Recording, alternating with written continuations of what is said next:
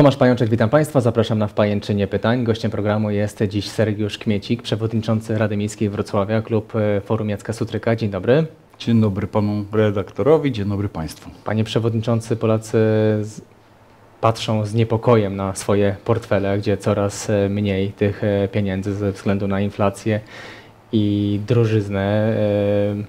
A jak inflacja, drożyzna przekłada się i będzie się przekładać na finanse i inwestycje Wrocławia?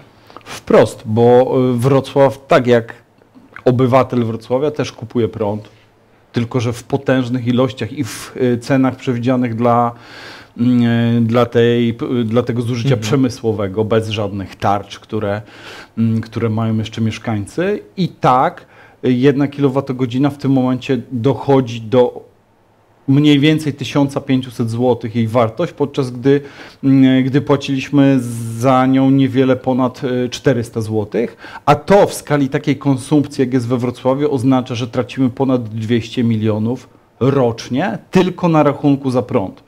A przecież drożeją wszystkie media. Tylko na rachunku za prąd. A co znaczy 200 milionów rocznie? Mhm. To znaczy, że tracimy Aleje Wielkiej Wyspy, jedna rocznie gdzieś tam znika nam tak, tej, tej, tego rozmiaru inwestycja w związku z podwyżką cen prądu. Tramwaj na Popowice 222 miliony, nie ma, zapłaciliśmy te pieniądze za prąd.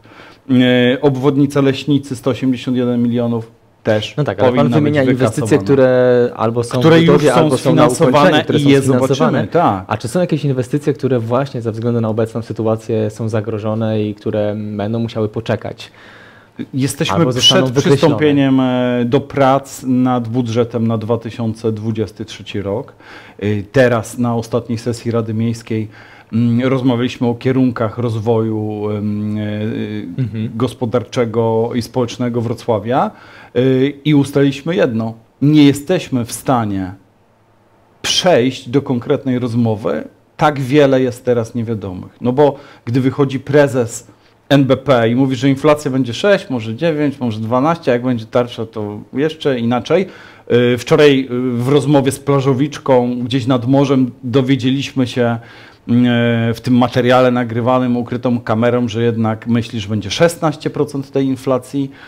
I tak właśnie nasz skarbnik i pan prezydent, y, planując wydatki na przyszły rok, y, bo do nich należy inicjatywa i oni przedłożą Radzie projekt tego budżetu, nie wiedzą na czym stoją. Nie wiedzą na czym stoją, my nie wiemy na czym stoimy, nie ma danych nie tylko dotyczących inflacji, co ma bezpośredni wpływ na wszystkie nasze mhm. wydatki, ale właśnie tych dotyczących cen prądu, bo każdy tydzień, każde mm, otwarcie giełdy to jest kolejny mniejszy lub większy skok cen energii, a przecież nie tylko prąd drożeje, tak jak mówiłem, tylko gaz, mm, drożeją usługi mm, i z tym się jako samorząd będziemy borykać, z tym się jako wrocławianie będziemy borykać, bo to są podwyżki nie dla e, Rady Miejskiej, dla Jacka Sutryka czy, czy, czy, czy, czy miasta Wrocław, tylko to są podwyżki mm, e, wrocławianom czynione. To wrocławianie Jacek Sutryk w ostatnim e, wywiadzie dla Onetu, mówiąc właśnie o szukaniu oszczędności w związku z inflacją i drożyzną, mówił, że wrocławianie muszą być gotowi na, na wszystko. Nie wykluczał między innymi cięć w kursowaniu tramwajów i autobusów. W Pana opinii to, byłby, to byłoby dobre rozwiązanie? Szukanie oszczędności kosztem na, na, na MPK, tak naprawdę na cięciach e, e, w liniach tramwajowych? Od 2019 roku 600 milionów wyparowało nam, możemy powiedzieć, z budżetu na skutek reform podatkowych, których dokonywał rząd. Więc to było już na minus. Tyle pieniędzy straciliśmy naszych no, mm, przychodów rocznych. A doszły gigantyczne wydatki. Jeśli chodzi o MPK, to MPK y, na energię elektryczną w 2020 roku wydało 47 milionów złotych, a w 2023 roku według szacunków ceny z dzisiaj, nie wiemy jak ona, jak ona będzie do końca roku, wyda 125 milionów złotych, czyli o 80 milionów więcej wyda MPK tylko na sam prąd. Jasne, ale czy dopuszcza Pan generalnie w ogóle takie rozwiązanie, że wrocławianie będą mieli do dyspozycji mniej kursów e, linii autobusowych i tramwajowych, Właśnie Czek ze względu na szukanie oszczędności. Czekają nas bardzo trudne czasy i istnieje bardzo duże ryzyko, że ze względu na to, co się dzieje e, i na co rząd nie potrafi w żaden, e, w żaden skuteczny sposób zareagować, samorządy zostaną postawione w sytuacji, zwłaszcza takie jak Wrocław, czyli duże miasta prężnie mhm. rozwijające się, że zamiast myśleć o rozwoju i o tym, żeby polepszać życie naszych obywateli, będziemy toczyć ciężkie boje o to, żeby utrzymać ten sam poziom życia, do którego wrocławianie się y, przyzwyczaili. Czyli żeby utrzymać między innymi y, to kursowanie tramwajów w taki, w taki sposób, w jaki dziś kursują, bo to są potężne koszty osobowe, potężne koszty y, energii, potężne koszty taboru. Do tramwajów za chwilkę przejdziemy, a co, kończąc tylko wątek inflacji, co pan sądzi o, o dobrych radach polityków, e, którzy radzą Polakom zaciskać zęby, ocieplać domy i mniej i taniej jeść? Czy postulat ocieplania domów akurat jest e, doskonały i powinniśmy to robić, tylko teraz serwowane jako remedium na to, co się dzieje? Gdzie w lipcu nagle jest hasło ocieplicie sobie domy przed zimą, przecież to jest nierealne. Nie da się ocieplić już, nie da się znaleźć ekipy mm, i przeprowadzić takiej inwestycji, mm, inwestycji przed zimą i, i, to jest tylko hasło, to jest tylko populizm, za tym nic nie idzie. Natomiast yy, my musimy być przygotowani na to, patrząc właśnie jak to działa, że rząd nie zabezpieczył nas nie zabezpieczył nas we właściwy sposób na zimę. Zobaczmy, co się dzieje na rynku dostaw węgla. Te komunikaty, że mhm. praktycznie no, podają do publicznej wiadomości, że rząd nie zabezpieczy dostaw węgla dla mieszkańców Polski. No, każą przyglądać się temu, co się będzie działo z jak największą, z jak największą uwagą i trudno o optymizm. Na te rady, no cóż, to politycy partii rządzącej, nie potrafiąc jakoś wybrnąć z tego dołka, w którym Polska się znalazła, no, popełniają takie niefortunne wypowiedzi. Natomiast przekierowywanie oczu opinii publicznej na te nieznaczące nic od wypowiedzi odwraca oczy opinii publicznej od tego, co jest faktycznie problemem, czyli że rząd nie ma pomysłu i nie ma systemowych rozwiązań na to, jak sobie teraz poradzić i jak nas wszystkich zabezpieczyć. To teraz o tramwajach, o planie um, tramwajowym Wrocławia przedstawione przez prezydenta Jacka Sutryka. Pięć inwestycji do końca 2027 roku zapowiedział Jacek Sutryk. Tramwaj na Maślicę, na Swojczycę, przedłużenie do Kleciny, na Borowską i wydzielony korytarz autobusowy na, na Jagodno. Jagodno. Jak pan patrzy na tę listę pięciu inwestycji, krótką listę, to myśli sobie, że te wszystkie zadania będą ukończone, czy widzi pan jednak zagrożenie, zagrożenie jakieś, e, że to nie jest realny plan? Znaczy nie zgodzę się z tym, że to jest krótka lista, bo ona i po stronie kosztowe jest, jest bardzo ambitna. Ponad 600 milionów złotych Dokładnie. to kwoty, które padają dzisiaj oczywiście. I skutki cywilizacyjne ukończenia tego całego programu tramwajowego e, będą e, bardzo poważne, bo w wyniku jego ukończenia 50% wrocławian będzie, mogło, będzie miało około 500 metrów do przystanku tramwajowego. I to cywilizacyjnie w ogóle zmienia obraz Wrocławia, zmieni obraz komunikacji mm, publicznej tutaj u nas, e, u nas w mieście. Natomiast mhm. ten plan został już dostosowany do tego, mm, co nas dotknęło w krótkim czasie w przeszłości, czyli, mm, czyli COVID, który uszkodził Wrocław gospodarczo, czyli te rozwiązania Nowego Ładu, które nas zubażają, zubażają nas budżet, kryzys wywołany wojną na Ukrainie, do tego jest dostosowany. Mm, natomiast co będzie, zobaczymy. Mhm. No ale tak, pytanie, czy te pięć inwestycji to są takie pewne inwestycje, które do 2027 roku uda się zrealizować? Panie redaktorze, a czy środki europejskie y, są pewnymi w tym momencie środkami? Czy to wszystko czy jest uzależnione od środków zewnętrznych? Również od środków europejskich, które decyzjami niefortunnymi rządu są wstrzymane które mm, z tego powodu, że pan marszałek sporządził plan ich podziału taki, do którego zgłoszono 500 uwag. Mhm. Komisja Europejska na 100 stronach zgłosiła 500 uwag i je zakwestionowała. Y, z tych powodów nie mamy w tym momencie dostępu do środków europejskich, które bardzo pomogą i są bardzo potrzebne przy realizacji wszystkich inwestycji infrastrukturalnych i Wrocław również ich potrzebuje.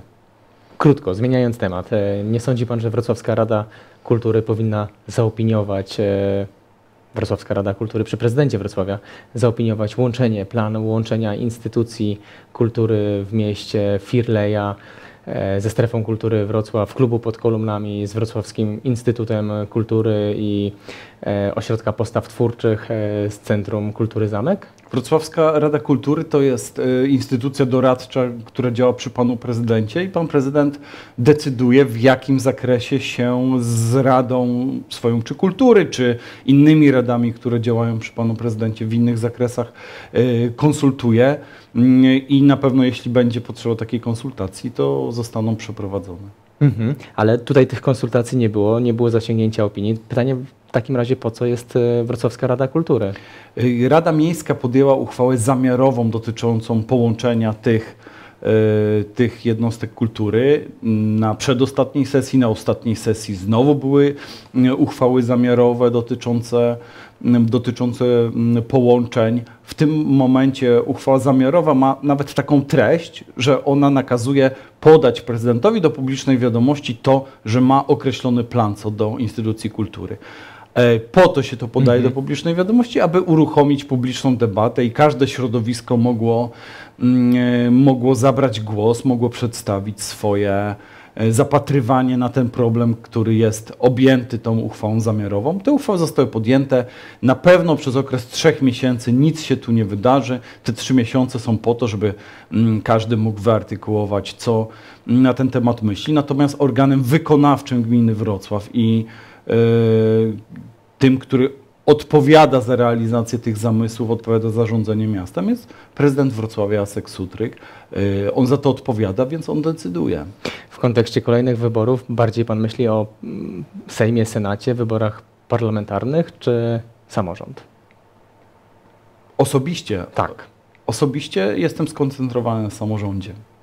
Natomiast wybory parlamentarne będą bardzo ważne. Mam nadzieję, że ten kalendarz zostanie zachowany. One się odbędą, one się odbędą przed wyborami mm, samorządowymi. No, uważam, że one będą bardzo ważne, będą kluczowe również dla tego, jak samorząd będzie wyglądał w następnych latach, czy po prostu przetrwa. A wybory samorządowe powinny się odbyć jesienią przyszłego roku, czy wiosną 2024? Wybory samorządowe powinny się odbyć w terminie, gdyż pozwolenie władzy centralnej na manipulowanie przy terminie wyborach w związku z tym, że ich ustawienie w określonej kolejności mogłoby być dla tej władzy korzystniejsze, y, musi się spotkać ze sprzeciwem. Mhm. Być może nam by było wygodniej mieć jeszcze pół roku, pół roku pewnego rządzenia w tych trudnych czasach. Natomiast jeśli argumentem ma być to, że Prawo i Sprawiedliwość chce przeprowadzić wybory najpierw parlamentarne, bo w nich uzyskuje lepsze wyniki niż w samorządowych i nie chce jakby utrwalić u obywateli to, że, że źle im poszło w wyborach, dlatego chce przestawić ich kolejność, no to temu trzeba się radykalnie sprzeciwiać i mhm. nie pozwalać na burzeniu systemu naszego wyborczego tylko dlatego, aby partia rządząca mogła polepszyć swój wynik. PiS argumentuje przesunięcie, plan przesunięcia wyborów bliskością wyborów parlamentarnych i wyborów samorządowych, czyli pan tego nie kupuje zupełnie, że zbyt blisko są terminowo te, te wybory obok siebie? Są blisko, tak jest kalendarz wyborczy, że czasem one mogą się, y, mogą wystąpić blisko siebie, natomiast państwo musi stanąć na wysokości zadania i te wybory przeprowadzić. Na koniec chciałem Pana zapytać o piłkarski Śląsk, bo wystartowała ekstraklasa e, piłkarska. W Pana opinii Śląsk Wrocław dobrze, że jest cały czas klubem miejskim, czy jeśli nadarzy się okazja, to miasto powinno sprzedać Śląsk? Śląsk Wrocław e, w tym sezonie przez połowę czasu gry grał bardzo dobrze i takie były komentarze, że e, właściwie no, połowa tego sezonu Ekstraklasy, czyli pierwsza połowa meczu z Zagłębiem Lubin była oceniana bardzo dobrze, co każe z optymizmem patrzeć na, mm, na tą kolejkę. Śląsk Wrocław jest klubem miejskim. Udziały zostały skupione przez miasto od prywatnych, mhm. od prywatnych mm, inwestorów i nie pojawił się na tyle wiarygodny i na tyle mm, dobry inwestor, który by przekonał miasto do zbycia tego pakietu kontrolnego y, udziałów y, w Śląsku. A gdyby Wrocław. się pojawił? A gdyby się pojawił, to tą ofertę trzeba będzie bardzo poważnie rozważyć, analizując wszystkie Mm, aspekty, jak to wpłynie sportowo, jak to wpłynie społecznie i czy nie skończy się to tak, że pomimo, że jakiś inwestor y, kupi naszą tutaj nasze srebro rodowe w postaci tej marki mm, Śląska Wrocław, to nie będzie to tak, że mm, i tak na koniec y, w razie problemów będzie roszczenie do miasta, żeby pomogło, bo jeśli tak ma to wyglądać, to, to sprzedaż Śląska nie ma nie ma sensu. Sergiusz Kmiecik, przewodniczący Rady Miejskiej Wrocławia. Dziękuję za rozmowę. Dziękuję panie redaktorze, bardzo państwu dziękuję. Państwu dziękuję za uwagę, do zobaczenia.